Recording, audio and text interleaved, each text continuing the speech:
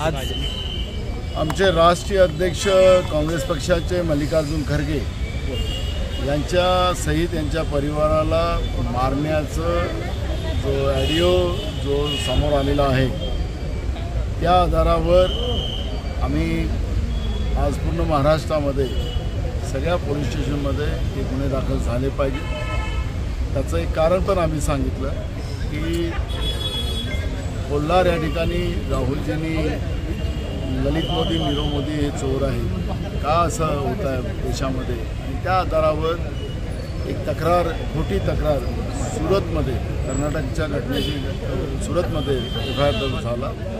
आणि त्याच्या आधारावर जे काही कोर्टात चाललेलं आहे ते आपण सगळे पाहतो आहे. आणि म्हणून आम्ही आज पंढरपूरमध्ये मी स्वतः आणि आज राज्यातल्या अनेक पोलीस स्टेशनमध्ये या पद्धतीचे गुन्हे दाखल केले जातील. आपला इन्फॉर्मेशन टेक्नॉलॉजी जो ॲक्ट आहे त्याच्या पासष्ट अडुसष्ट आय पी सी प्रमाणे हे गुन्हे दाखल केले पाहिजेत. आणि त्या पद्धतीचं इथले जे पोलीस प्रमुख आहेत पंढरपूर पोलीस स्टेशनचे त्यांना आम्ही भेटलो.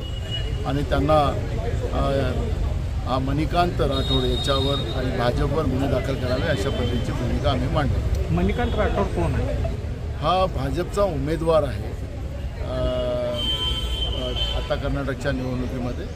आणि भाजपचं हे षडयंत्र आहे की मल्लिकार्जुन खरगे आणि त्यांच्या परिवारालाच जीवे मारायचा हा प्रयत्न आहे आणि त्याचा ऑडिओ सगळीकडे प्र प्रसिद्ध आहे कोणती मानसिकता ही डायरेक्ट इलेक्शन आहे नाही ही माणसं. खरं तर भाजपला लोकशाही मान्य नाही.